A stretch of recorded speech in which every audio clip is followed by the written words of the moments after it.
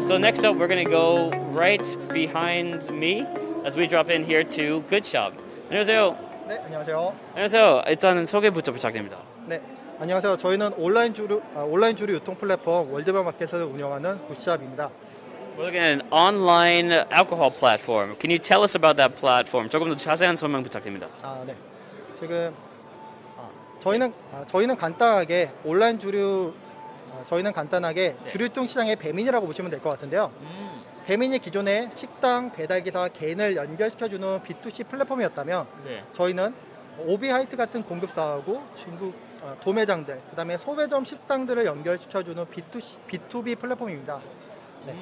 편의점에는 다양한 수입 수제 맥주들이 있는데 식당에는 국산 소주 맥주밖에 유통이 안 되고 있거든요.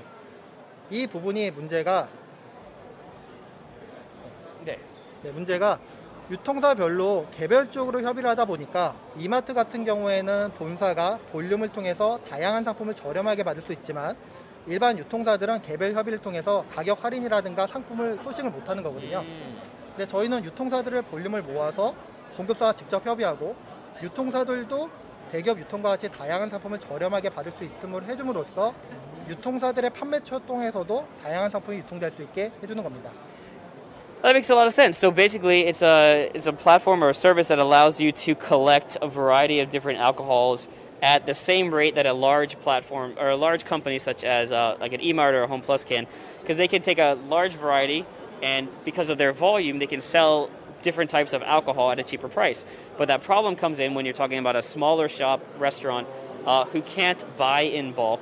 So they're not able to get that lower price when it comes to distribution. They are able to kind of collect all the basically they're able to take the bulk purchases and then distribute it out to smaller restaurants, 식당이나 뭐 편의점이나 뭐 네. restaurants, convenience stores, or anyone else who is selling that alcohol. 네. 그래서 B2B 완전 B2B인데 B2C 아닌 거죠. 현재는 B2B로 하고 있고 네. 최근 저희가 주류 딜리버리 매장과 무인 주류 자판기 업체들과 협업을 해서요. 이제 오. 치킨을 시켰을 때도 기존의 뭐 생맥주라든가 국산 소주뿐만 아니라 수입 수제 맥주, 와인들 같은 것도 제품이 런칭될 수 있도록 현재 주류 딜리버리 매장도 이번에 오픈을 했고 무인 주류 자판기도 협업을 통해서 내년부터 본격적으로 확대할 예정이 있습니다.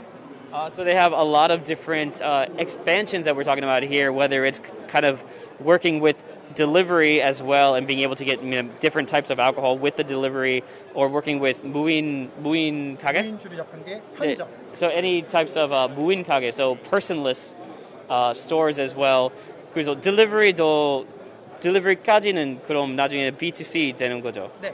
So eventually going from uh, just B2B to B2C as well, eventually, and connecting all these different sources from the distribution phases. There you go.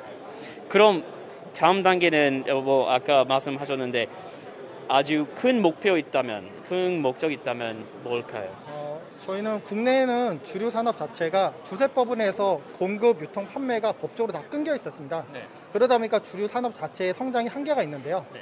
저희는 국내 주류 산업에 대한 패러다임을 완전히 바꾸고 새로운 무인 주류 자판기라든가 원하는 상품이 언제든 유통될 수 있는 새로운 시장으로 만드는 걸 목표로 하고 있습니다.